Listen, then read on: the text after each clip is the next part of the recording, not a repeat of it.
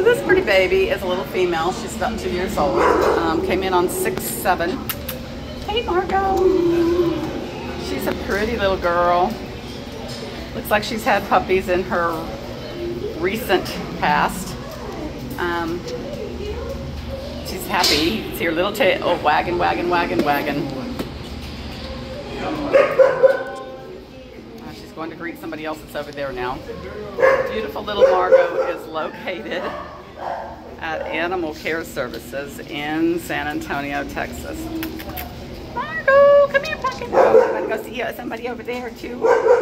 You trying to, you trying to work the room there, kiddo? How beautiful.